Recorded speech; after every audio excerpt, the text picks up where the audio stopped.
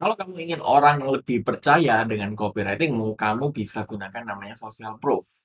Apa itu sebenarnya social proof? Hai, kembali lagi bersama saya Sean Andreas dari upgrade.id, media belajar digital marketing, digital technology, dan digital automation untuk tingkatkan omset bisnismu. Nah, di video kali ini teman-teman kita akan membahas gimana sih cara membuat orang percaya dengan copywriting kita. Karena seperti yang kita tahu teman-teman, ya kalau kita ingin dagang atau bisnis itu kan kepercayaan itu kan hal yang paling krusial ya. Kalau misalkan teman-teman bisa dipercaya dengan seseorang atau teman-teman bisa dipercaya dengan customer, teman-teman tentu lebih mudah untuk memasarkan produk atau jasa teman-teman itu sendiri.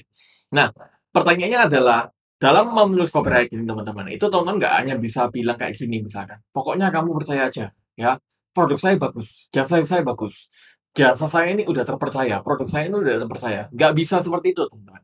Kenapa? Orang butuh bukti. Jadi nggak orang itu nggak bisa dikecapin ya. Kecap ini dalam arti kan kan kecap nomor satu gitu kan katanya orang-orang ya. Semua kecap kita pasti nomor satu ya. Masalahnya zaman sekarang teman-teman ya mungkin dari dulu ya orang itu nggak bisa jadi kecapin. Orang butuh bukti. Nah pertanyaannya gimana caranya teman-teman menambahkan bukti agar orang itu percaya dengan copywriting teman-teman? Jadi saya akan langsung masuk ke layar laptop saya aja ya. Nah, untuk membuat orang percaya dan copywriting teman-teman, teman-teman butuh tambahkan yang namanya social proof ya atau bukti sosial ya. Social proof itu sebenarnya apa sih Mas? Social proof itu adalah suatu konsep yang menunjukkan bahwa seseorang akan terpengaruh dan mengikuti tindakan sekelompok orang lainnya ya.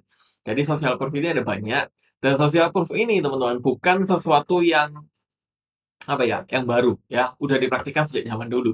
Sebagai contoh, kalau misalkan teman-teman lihat ya, restoran ya, ada dua restoran, oke. Makanannya sama, harganya sama, tapi yang satu itu restorannya, uh, rame, yang satu itu sepi. Nah, secara psikologi, saya teman saya akan pilih ke yang rame. Kenapa?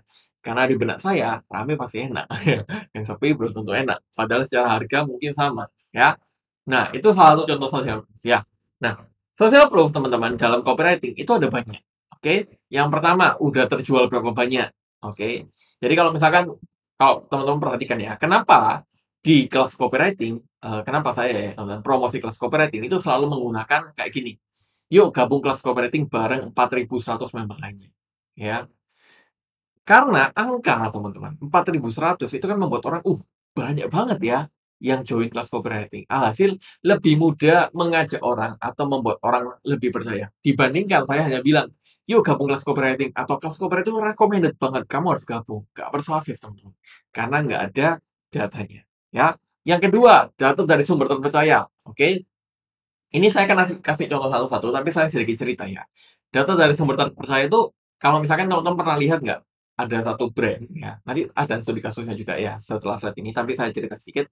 Ada satu brand dia itu sengaja menggunakan uh, dokter gitu kan. Atau saya nggak tahu kolaborasi atau kerjasama menggunakan dokter untuk produknya. Dan dokter itu menunjukkan bahwa oh ya berdasarkan data apa produk ini ternyata bagus karena memiliki kandungan ini sehingga bisa ini. Ya itu adalah data teman-teman. Jadi dengan data teman-teman itu lebih mudah membuat orang percaya ya. Bahkan nanti saya kasih kasih tunjuk ya sebuah copywriting yang saya buat di konten saya yang mana saya menunjukkan data ya Endorse, endorse juga social proof ya. Jadi dengan teman-teman endorse, entah itu endorse influencer atau artis yang punya authority teman-teman atau punya wewenang di industri itu, teman-teman tentu akan lebih mudah untuk meyakinkan orang lain ya. Studi kasus. Ini nggak semua nggak semua produk ada ya teman-teman ya. Tapi kalau misalnya kayak produk kecantikan teman-teman. Kenapa kecantikan itu menggunakan before after itu sangat powerful? Karena itu sebuah studi kasus teman-teman ya. Sebuah testimoni teman-teman ya, sebuah testimoni, sebuah review konsumen dan orang langsung lihat hasilnya. Dengan hasil seperti itulah orang akan merasa kayak, "Uh, ya mantap ya Mas ya. Oh, kayaknya ini bagus sih." Diliput oleh media juga bisa before after ya. Jadi ada banyak teman-teman, saya akan kupas satu-satu ya. Ini contoh social proof. Ini yang Chaos Operating sekarang 4.100 ya, bukan 3.900. Chaos Operating telah dipercaya 3.900 plus orang dan puluhan brand nasional. Nah, ini kalau mau lihat menggunakan social proof ya. Di sini saya terapkan brand-brand yang pernah bekerja sama. Terus di sini saya tetapkan apa berapa jumlah membernya. Nah, ini juga yang dipakai oleh Viral. 15.608 plus entrepreneur pakai software ini untuk legitkan bisnis di Instagram. Ya, ini juga social proof. Ya, Contoh lagi, nah ini ada dari apa ya, Hoto ya sama Beauty yang mana teman-teman lihat di sini menggunakan data gitu kan ya. Yang ini apa Hoto ya. Data dari kesehatan 90% penyakit mematikan seperti uh, stroke itu disebabkan pola tidak makan tidak sehat ya. Jadi di sini ada framingnya gitu, ada datanya sehingga membuat orang bahwa lebih terpercaya teman-teman dibandingkan teman-teman hanya bilang apa kayak gini misalkan, menurut saya penyakit mematikan itu disebabkan pola makan nggak sehat, nggak persuasif. Kenapa? Karena nggak ada datanya. Tapi kalau teman-teman bilang data, nah kalau lebih bagus sih datanya kita sertakan ya, data dari mana. Misalkan data dari WHO, itu juga boleh banget ya. Contoh lain, Hmm, ini social proof juga dari itsambel.com ya, yang mana ini ada endorse ya dari Magdalena, Wilkos, atau Farid Nurhan. Ini juga social proof, bukti sosial ya. Yang mana kalau misalkan kita tahu sendiri teman-teman, kalau ada artis atau influencer yang endorse produk atau jasa itu, kita lebih mudah ter, apa percaya dibandingkan kalau teman-teman itu somebody, uh, nobody, teman-teman masuk terus teman-teman ingin meyakinkan orang. Makanya kenapa sekarang influencer marketing itu punya peranan yang sangat besar, khususnya dalam hmm, teknik pemasaran. Ya. Studi kasus, teman-teman juga bisa tambahkan studi kasus untuk beberapa industri ya. Misalkan kayak ini kita industri edukasi, itu kita bisa mendapatkan studi kasus seperti ini.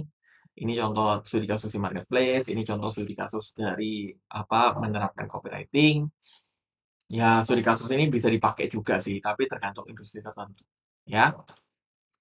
Testimoni, testimoni sama customer review teman-teman juga bisa banget, karena apa ya teman-teman, walaupun ya apa, karena kita tahu sendiri teman-teman, testimoni itu punya peran yang sangat penting ya. Jadi gampangnya kayak gini lah, teman-teman kalau ingin belanja di marketplace atau sekarang belanja di TikTok Shop, yang teman-teman pasti lihat pertama apa?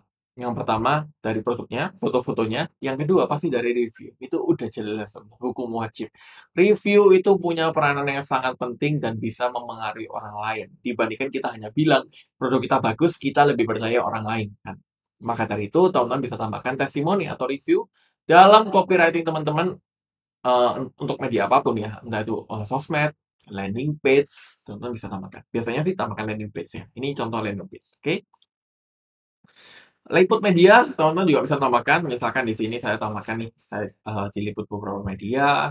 Terus di sini misalkan ini dari Islam ya, kalau saya kutip ya. Esin in di mana ya.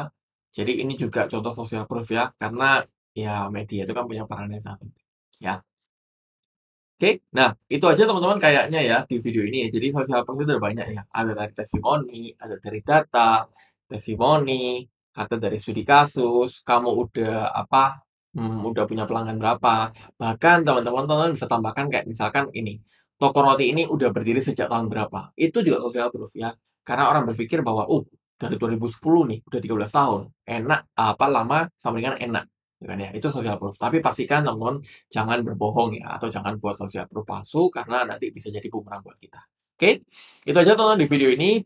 Kalau misalkan teman-teman suka dengan video ini, teman-teman bisa subscribe channel ini dan aktifkan loncengnya agar kamu selalu dapatkan informasi terbaru seputar digital marketing, digital teknologi, dan digital automation untuk tingkatkan omset bisnis. Itu aja teman-teman di video ini, sampai jumpa di video yang